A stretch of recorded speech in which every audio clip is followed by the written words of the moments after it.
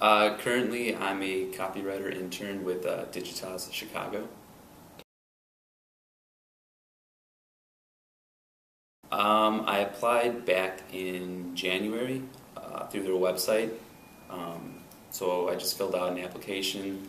Um, I answered some questions. I sent out, you know, the basics like cover letter, resume, uh, a link to my portfolio, and um, and then I got a call back in April, early April, for an interview. Uh, I did the interview, and then by the end of April, I had heard back that I got the position, and I accepted it and started uh, this June.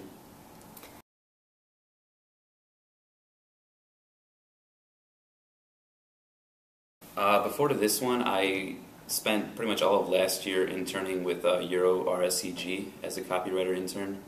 Um, so I was there for like eight months, and before that, last summer, I was a copy intern with uh, the San Jose Group, which is a small Hispanic uh, ad agency.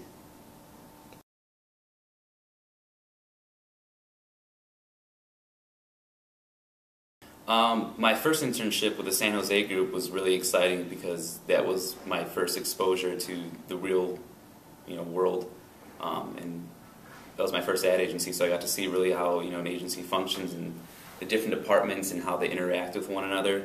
Uh, and then jumping from there to I got hired by Euro RSCG as an intern, and that was a really cool experience just because they're a, a bigger agency with uh, some big name clients. So it was interesting going from like that spectrum from a small agency to working at a bigger agency and seeing how they're different. Um, my first internship with the San Jose Group, I just was applying to every agency that I knew of in the city, um, and I just got lucky and, and got a, a, position with them.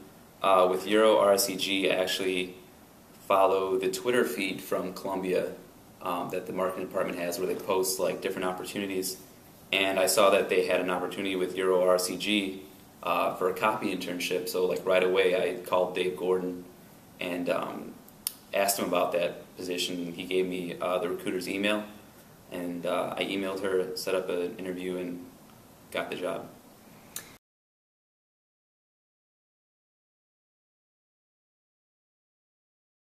I would definitely suggest getting on LinkedIn and also Twitter. Uh, a lot of recruiters, pretty much all the recruiters are, are on those sites, and they're really great tools to um, to find internships and different opportunities and to, to get yourself out there. So I would just suggest getting on those sites and just finding different recruiters from different agencies that you're interested in and uh, reaching out to them.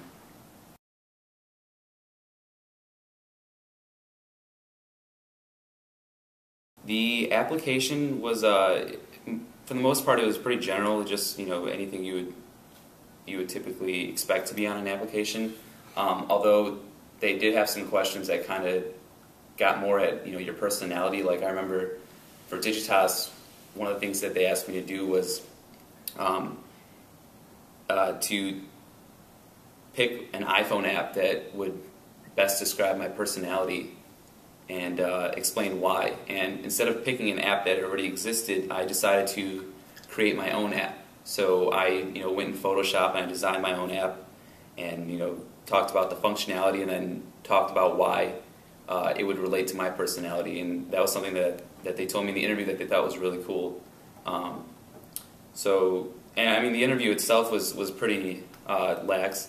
I'd say, you know, it's for, uh, it was an internship in the creative department, so I had two copywriters interview me, and it was very just conversational. They just asked me to, you know, talk about myself and some of my experiences, and then, you know, they looked through my work and I explained, you know, the thinking behind uh, the campaigns that I have in my portfolio, and um, it was it was really uh, it was really fun. It was it wasn't like a very uptight interview.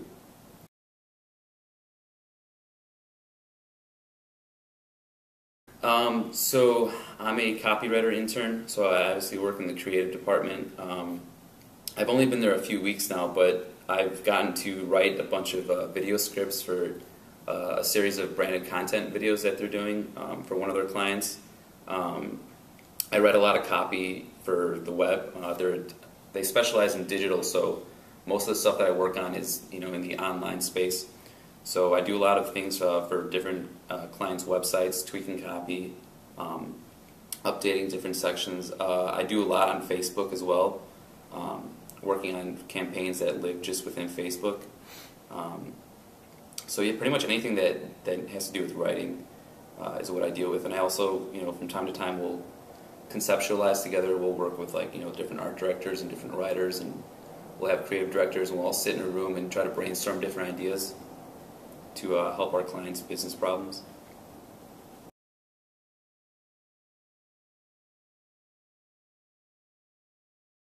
Right now, the most interesting thing I think is, uh, you know, as an intern, you know, occasionally you're going to have some downtime, and um, I think it's it's really up to you to decide like what you want to do with your internship. So, I right now I work with 20 other interns, and I mean they're in different departments. Um, so, you know, we all have downtime from time to time, and what I propose to the other interns is like, you know, when we have this downtime, instead of just sitting there and like surfing the internet, let's like make something that you know maybe Digitas doesn't really know of per se, but let's. So what I propose to them is that we create like a, a series of little intern uh, videos, these like funny little one minute clips about you know life of an intern in Digitas, and uh, it's really just like blown up to this big thing now where we're making like a whole little campaign just within the office, and every week we're going to be releasing these like short little one minute uh, funny videos um, to really just keep the office entertained, and I think that it's something that the full time employees um, will really like and, and, appreciate that we take the initiative to just create something without necessarily being asked to.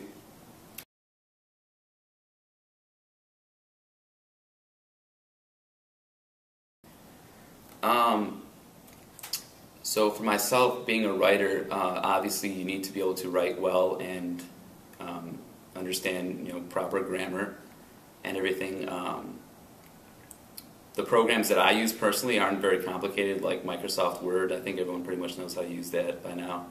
Um, but it doesn't doesn't hurt to have a familiarity with like the design programs like Photoshop, uh, Illustrator, InDesign because you know you're going to be working really closely with uh, different members of the creative teams, including art directors. So the more familiarity you have with those programs, and also like web-based programs, it it really helps uh, make your job easier communicating with other people.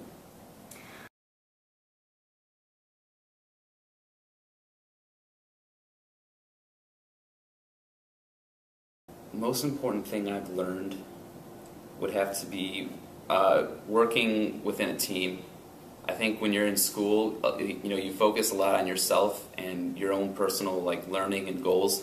But once you get in the real world, it's really what I've learned very quickly. It's all about working within a team, and um, you know, bringing whatever you can to the table, but also working with others, you know, to achieve a, a common goal. That's really the the focus. Um, that I'm learning now in the real world.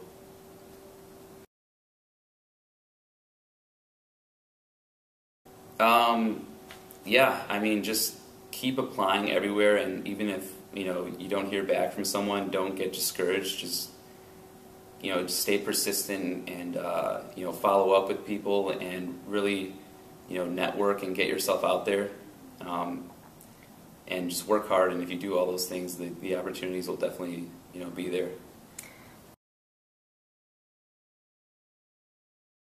It wasn't very good at all. Uh, my first internship, I was a sophomore in college, and I really didn't know where exactly I wanted to be within an ad agency. So, um, in terms of like a creative portfolio, it, it, definitely was not very good. But I think uh, the more you you talk to people, uh, you know, in the real uh, industry, and you know, they can kind of see your potential a little bit, and they can tell like you know if you have big ideas um, but my portfolio definitely was was not good at all, um, and that's something that you know to this day I continue to work on really hard and uh, keep improving because that's something that you're going to have with you your entire career.